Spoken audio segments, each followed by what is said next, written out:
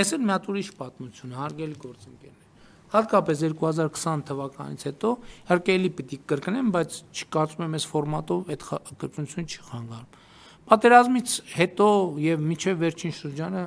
մեր ընդդիմադիր գործընկերները ասում են այս սենց պետք է լիներ, սենց պետք է լիներ, այն նենց պետք է լիներ, այն նենց պետք է լիներ, այս սենց պետք է լիներ, այն նենց պետք է լիներ։ Է թող լիներ։ Բայց ով էր ում ձերքից, թող լիներ, ով էր ում ձերքից բռնել։ Բայց եմ ասում, բա 2018 թվականի ապրիլի 17-ին Սերժ Սարգսյանը չգար ասեր լավատեսություն չի ներշնչում բարակցային գործոն։ Թողար ասեր ժողովուրդ ջան, հեսա ընտրվում են վարչապետ եւ այս սենց ալնելու, սենց ալնելու, սենց ալնելու, սենց ալնելու։ Կամ մանրամասներ չեմ կարալնելու, բայց ես կարծում եմ, որ մենք գնում ենք շատ թե քիչ ընդունելի մի լուծման եւ ահա նաեւ դա է պատճառը այդ պատերազմից հետո է չէ ասում ասում այ Ղարաբաղն էր պատճառը որ էսի հեճուկս իմ խոստման ուզում էի վարչապետ դառնայի բայց ժամանակ ծավալվում էր բողոքի ալիք այն ժամանակ ասեք ժողովուրդ ջան հարգելիներս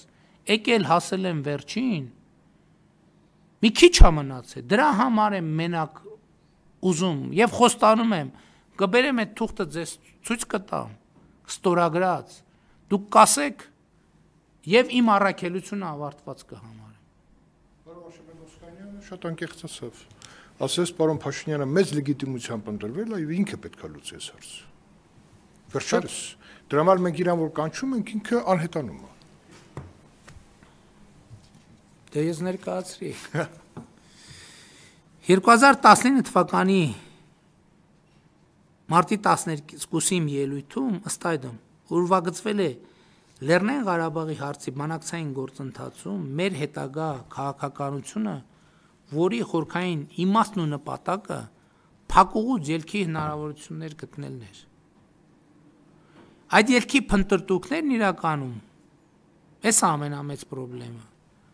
ավելի են խորացրել փակուղու զգացողությունը եւ այդ փնտրտունքների ընթացքում են բացահայտվել այն նրբությունները, որոնց մասին այսօր մանրամասն խոսեցի։ Բա բա ուզում էինք լուծեինք, իհարկե ուզում էինք։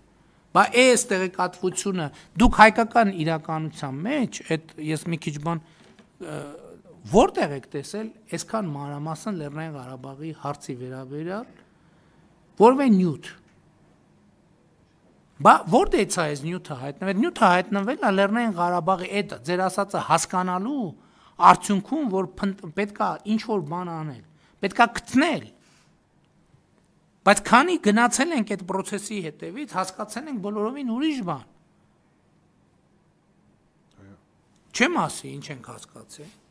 Կարողա դրմփակ ռեժիմում ասել։